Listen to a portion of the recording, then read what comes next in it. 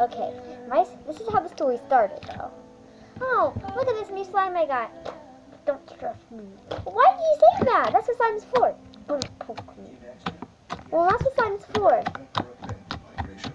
Oh, don't. But that's what slime's for. I gonna keep doing it. Ooh, pop bubble. Go down. I did not feel comfortable. Comfortable.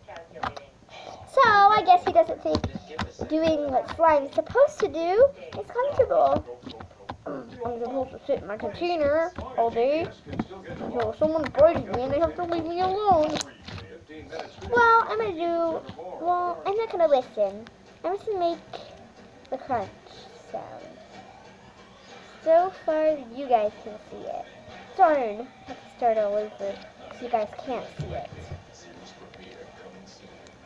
That. That's my daddy rudely disturbing my video, like normal. Okay, not like normal. Did you just hear that crunchy sound? Well, I'm gonna go take a talk with this guy. Looks like he doesn't like me.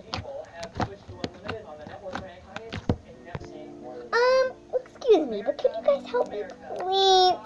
I think I've gotten into a terrible mess. So, I'm gonna show you the mess. Somebody help! The slime's gotten all over me. Don't worry. I can be brave, guys. Well, how do you like about this? Dunk. Dunk like that. Oh, his vest is pretty sticky. You're pretty sticky. You're not gonna fool me. Cause guess what? I already got you off.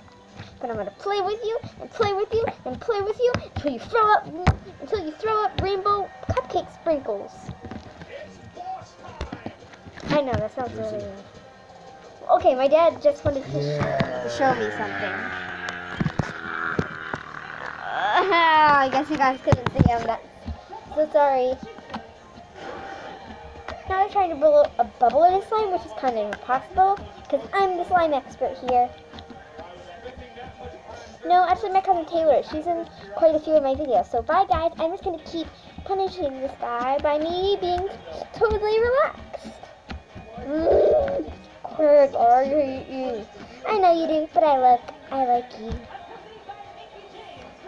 Not as a friend or anything. Like, no, I do not like you as a person. I like you as slime. You're so relaxing. You're sick.